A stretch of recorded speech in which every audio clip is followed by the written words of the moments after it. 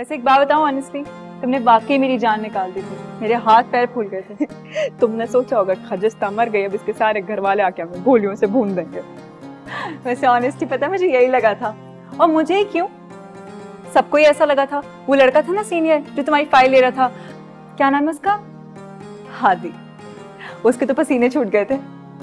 तो उसने खजिस्ता को समझा क्या है? मैं जय को भुगत चुकी हूँ, ये तो कुछ भी नहीं है फिर। यार, तुम दोनों ने उसकी शक्ल देखी थी। कितनी मासूम है यार। मैं तो सोच रहा था कि वो बिल्कुल मासूम लड़की नहीं है। ऐसे इलाके के लोगों को मैं अच्छी तरीके से जानती हूँ। ये लोग बहुत गहरे और चालबाज लोग होते हैं। तुम प्लीज़ बच के रहो। कम ऑन है ना मैं तुमसे एक्सपेक्ट नहीं करता कि तुम लोगों को उनकी क्लास या उनकी लैंग्वेज से जज करो। यहाँ का मर्द लोग का मोहब्बत ऐसा ही होता है। ढका चुपा दिल में दबा के रखता है। वो सोचते हैं औरत लोगों को बता दिया तो वो कहीं सर पे चढ़ के ना बैठ जाए। दबा कर मोहब्बत को नहीं मुर्दे को रखा जाता है कब्र में। और कह दो अपने बेटे से कि मुझे आज़ाद कर दे।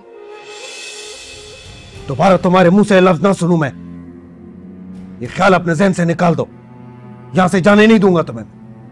इस ज़मीन में ज़िंदा दफना दूँगा लेकिन छोड़ूँगा नहीं तुम